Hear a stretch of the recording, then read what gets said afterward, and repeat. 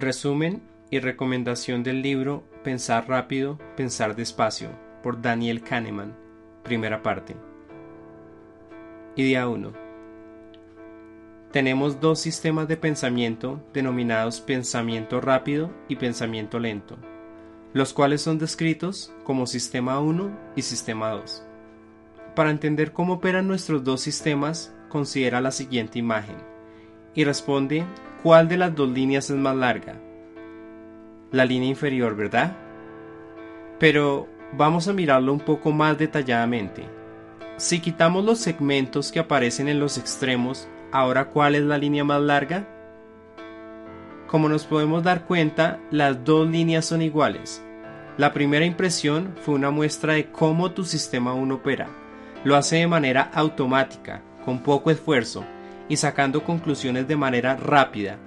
Poner a operar tu sistema 2 requería que hubieses medido primero las dos líneas, así hubieses podido comprobar que las dos líneas tenían la misma longitud.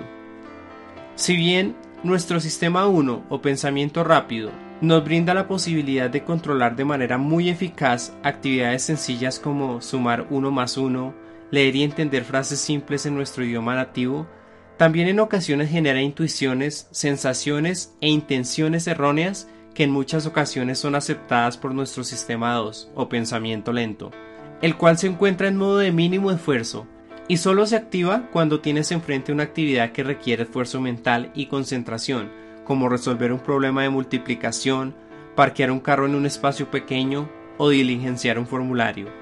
Sigamos viendo el funcionamiento de los dos sistemas a partir del siguiente problema. Una raqueta y una pelota cuestan un euro con 10 centavos. La raqueta cuesta un euro más que la pelota.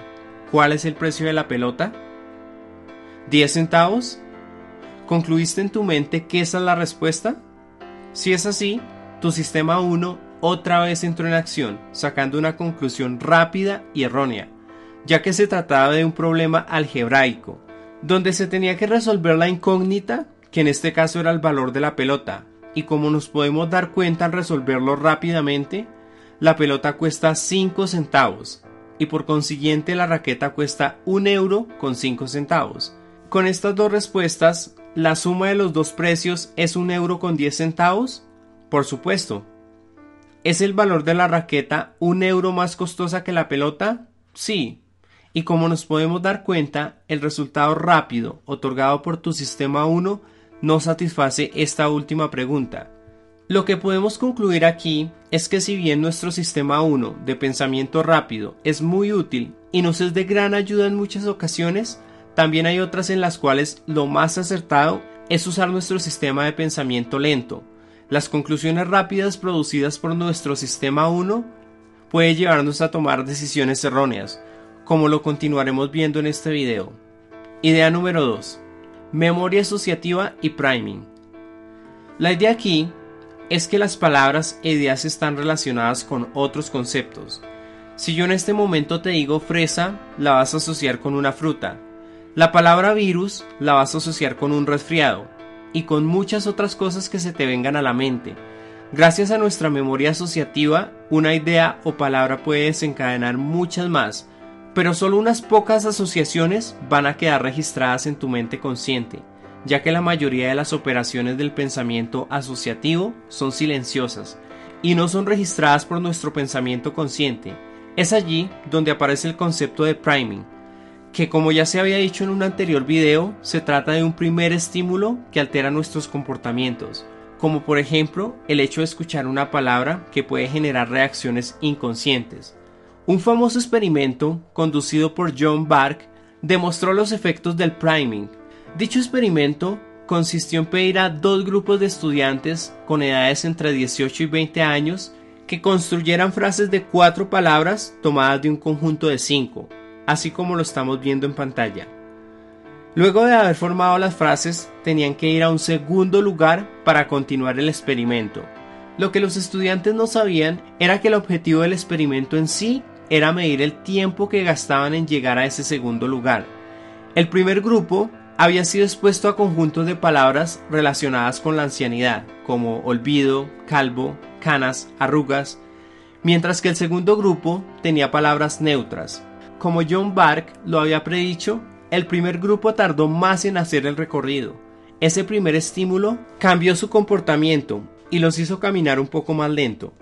El efecto del priming está asociado con nuestro sistema 1 y también puede influir en nosotros a la hora de tomar decisiones sin que nosotros seamos conscientes de ello. Idea número 3.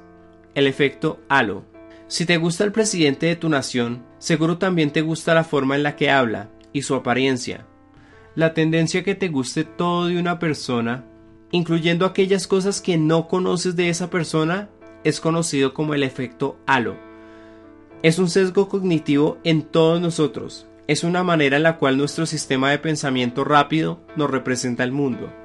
La apariencia y las características físicas pueden llevarnos a hacer asociaciones positivas o negativas de una persona sin ni siquiera conocerla. En el libro Blink de Malcolm Gladwell se describe cómo hay bastante evidencia que la estatura, especialmente en hombres, puede generar un conjunto de asociaciones inconscientes positivas.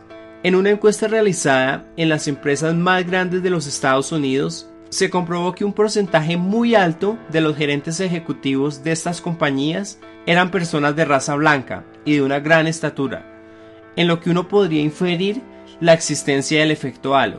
También lo podemos ver en juicios donde se ha comprobado que personas más atractivas son sentenciadas a condenas más pequeñas, comparadas con aquellas menos atractivas que habiendo cometido el mismo crimen terminaban con un veredicto más severo.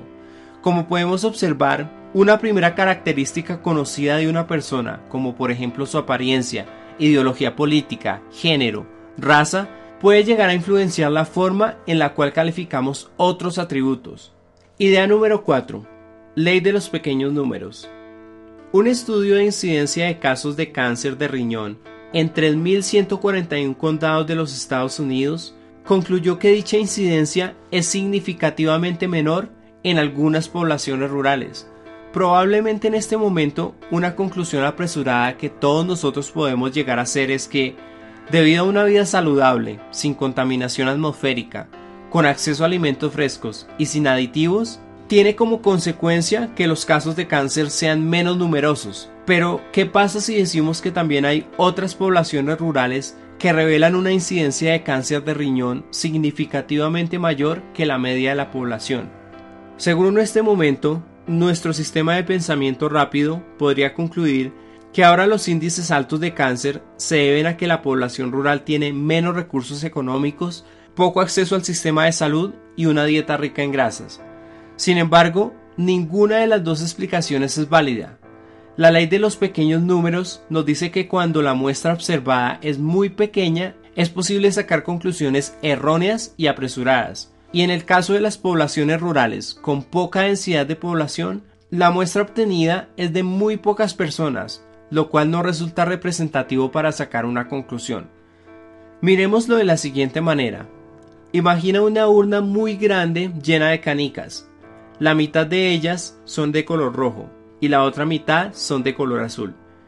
Si tomas únicamente dos canicas, la probabilidad de que te salgan del mismo color es muy alta, por lo que vale una conclusión rápida que podría llegar a tomar al sacar las dos canicas es que todas son rojas o que todas son azules, lo cual sin duda sería un resultado poco confiable.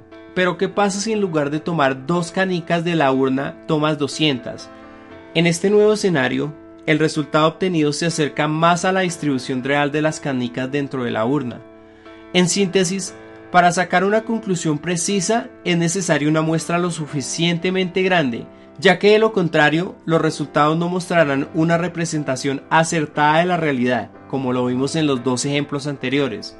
Antes de terminar esta primera parte del video, te invito a que pongas a prueba nuevamente tus dos sistemas de pensamiento por medio del siguiente problema. Si 5 máquinas tardan 5 minutos en producir 5 clavos, ¿cuánto tardan 100 máquinas en producir 100 clavos? ¿Cuál fue tu experiencia con este ejercicio? ¿Te dejaste llevar por una respuesta apresurada de tu sistema de pensamiento rápido? Cuéntame tu experiencia en los comentarios. De esta manera, concluyo la primera parte del resumen de este libro. Si te gustó este video, dale clic en el botón me gusta y suscríbete a mi canal para ver más videos animados como este. Espera en los próximos días la segunda parte de este libro. Hasta pronto.